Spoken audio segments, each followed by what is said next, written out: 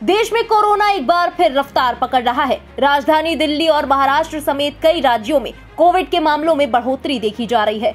बीते 24 घंटों में कोरोना के तीन हज़ार अड़तीस मरीज़ सामने आए हैं। इस दौरान लगभग दो लोग कोरोना से ठीक हुए, जबकि घातक वायरस ने 9 लोगों की जान ले ली। बता दें कि पिछले एक महीने में नए मामले में लगभग 9 गुना बढ़ोतरी देखने को मिली है। तीन मार्च को जहाँ तीन केसेस सामने आए थे तो उनतीस मार्च के बाद से रोज़ाना तीन हज़ार से ज़्यादा मामले सामने आ रहे हैं।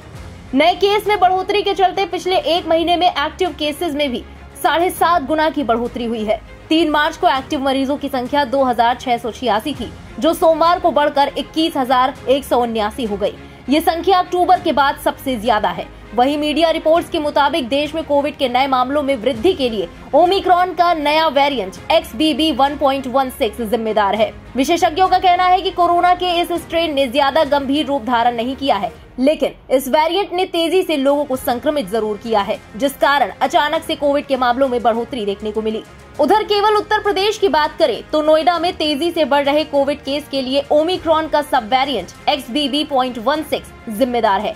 हालिया मामलों में जीनोम एनालिसिस से ये बात सामने आई है। नोएडा में ज़्यादातर मरीजों में ये सब वेरिएंट ही है। इसके अलावा X B B point one point five और X two three sub variant के मरीज़ भी पाए गए हैं।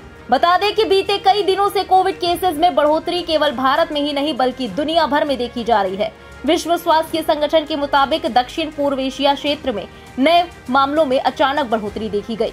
रिपोर्ट्स में बताया गया कि भारत में नए मामलों में चार फ़ीसदी की वृद्धि दर्ज की गई है। इसके लिए नया Omicron variant X B B point one point one six जिम्मेदार है। बात करें इसके लक्षणों की तो इसमें कोई नया लक्षण देखने को नहीं मिला है। कोविड के पुराने वेरिएंट के लक्षण जैसे थकान, गले में खराश, सिर दर्द, मांसपेशियों में दर्द, नाक बहना और खांसी आदि इस वेरिएंट के भी लक्षण हो सकते हैं। इसके अलावा कुछ लोगों को पेट दर्द और बेचैनी और दस्त की शिकायत भी हो सकती है।